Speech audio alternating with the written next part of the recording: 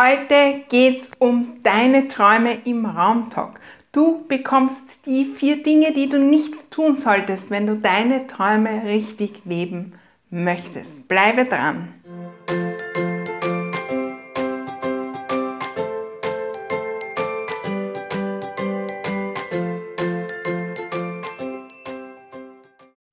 Hallo und herzlich willkommen zu Marias Raumtalk, deinem TV für dich und deine Räume. Mein Name ist Maria Husch, ich bin die Raumexpertin und Gründerin der I Love My Home Community. Und ich zeige dir hier jede Woche, wie du mit ganz einfachen Maßnahmen deine Träume erfüllst, deine Ziele erreichst und deine Räume so richtig glücklich und erfolgreich gestaltest. Ja, deine Träume, um die geht es heute. Was sind die und du möchtest sie sicher auch leben.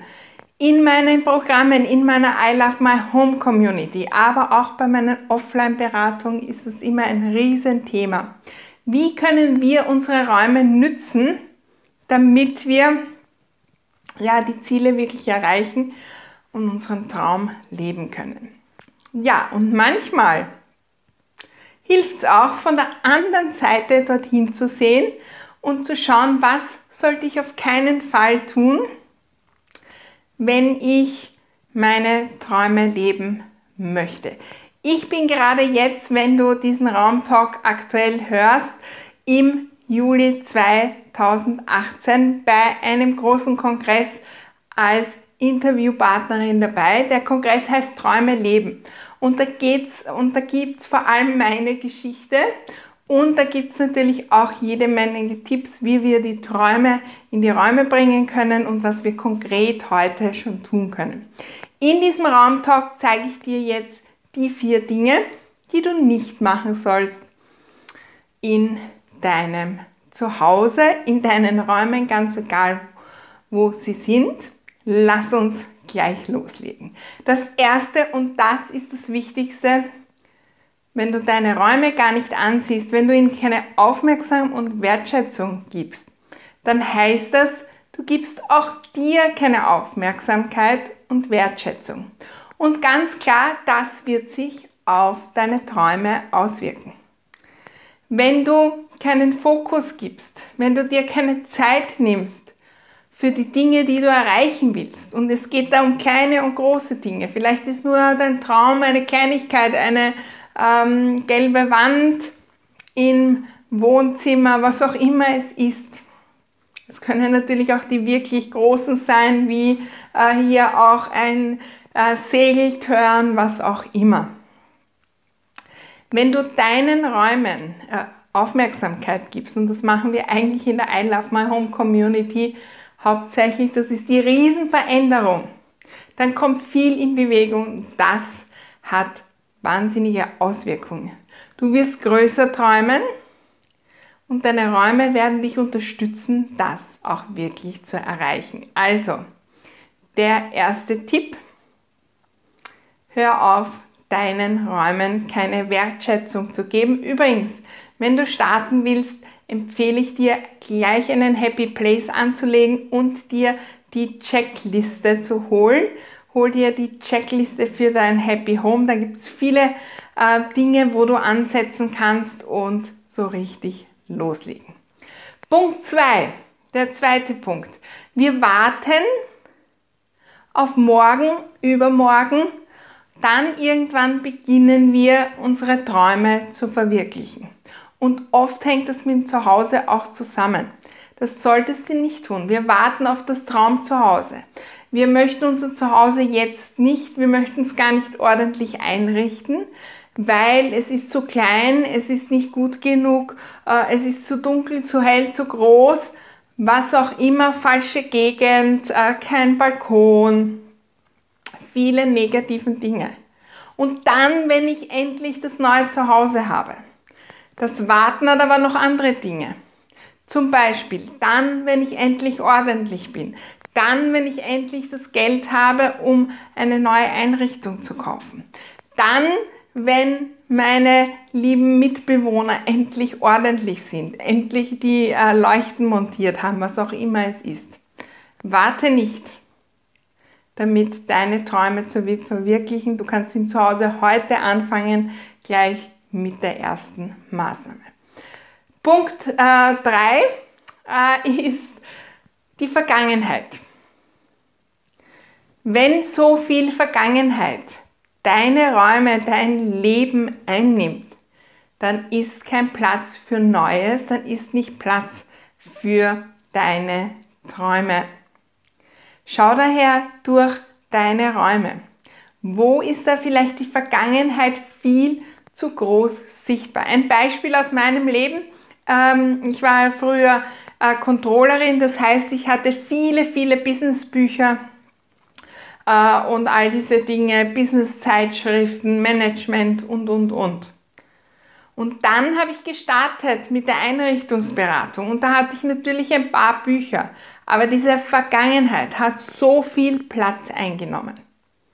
Heute habe ich zwei Bücher aufgehoben von dem Businessbereich. Die schaue ich nie wieder an, aber die stärken mich. Die geben mich die Sicherheit der Vergangenheit, aber trotzdem ist Platz für meine Träume. Da gehört natürlich das ganze Thema Entrümpeln, Ordnung und, und, und zusammen. Ähm, ja, im Herbst 2018 gibt es wieder die große Ordnungs-Challenge.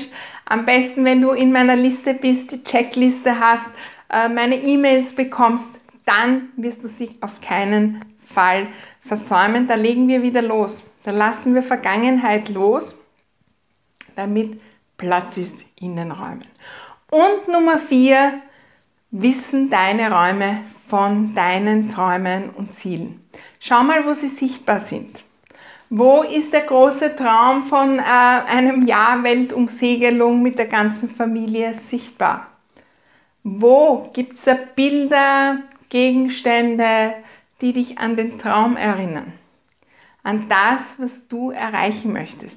Je mehr davon in deinen Räumen ist, desto eher wird dich das Unterbewusstsein immer wieder daran erinnern. Und da brauchst du gar nicht darüber nachdenken. Wenn dieses Segelschiff hier steht, wenn das äh, bei dir an einem wichtigen Platz steht, auch wenn du nicht bewusst daran denkst, ah, hier ist jetzt das Segelschiff, ich möchte irgendwann äh, diese Wellenumsegelung machen, dann dein Unterbewusstsein denkt daran und wird dich dorthin führen. Und da kann man natürlich mehr machen. Hier immer mein Beispiel. Du kennst diese Themenräume in irgendwelchen ähm, Hotels, zum Beispiel in äh, Disneyland. Ja, so ein ganzer Raum voll ähm, Pioneers oder äh, Minnie Maus oder was auch immer. Ja, ein ganzer Raum, jedes Ding zeigt uns dieses Ziel. Extrembeispiel. Aber was müsstest du machen, um aus deinem Zuhause so wirklich voll und ganz einen Themenraum für dein Ziel zu machen? Und wenn du davon nur 10 oder 5 Prozent umsetzt, dann werden dich die Räume auf jeden Fall begleiten. Also nochmal die vier Dinge, die du auf keinen Fall tun solltest. Das erste, du gibst deinem Zuhause keine Wertschätzung gar nicht gut, wenn du deine Träume leben möchtest. Du wartest auf das Traumhaus, du wartest auf die Ordnung, du wartest, bis die Mitbewohner endlich die Glühbirnen auswechseln, du wartest auf morgen, übermorgen, um dann irgendwann deine Träume zu leben. Das dritte, die Vergangenheit nimmt überhand, komme hier in Balance. Vergangenheit gibt uns Stabilität. Aber zu viel Vergangenheit, zu viele Altlasten, die nehmen den Platz, um wirklich die Träume zu leben. Und Nummer vier, gar nicht gut, wenn deine Träume gar nicht sichtbar sind in deinen Räumen. Also mach sie sichtbar, lege los, gleich jetzt. Erzähl uns im Kommentar davon oder natürlich auf YouTube. Ah, du kannst gerne auch meine Dinge auf Pinterest äh, teilen äh, komm auf meinen Instagram-Account und Facebook natürlich auch in meine kostenlose Gruppe Glückliches Zuhause. Dort freuen wir uns auch auf deine Bilder von deinen Träumen in deinem Zuhause. Wenn dir dieser Raumtalk gefallen hat, dann teile ihn mit deinen Freunden. Vielleicht inspiriert er sie auch, ihre Träume so richtig zu leben. Und im Juli 2018 mach auf jeden Fall mit beim Träume Leben Kongress. Übrigens kostenlos. Die Infos findest du alle hier unter, äh, unter diesem Video bei den Notizen direkt auf meinem Blog www.mariahusch.com. Zum Abschluss, und das gilt so, so, so fürs Träume Leben. Verändere deine Räume, verändere dein Leben, verändere die Welt. Ich freue mich riesig, wenn wir uns nächste Woche wiedersehen.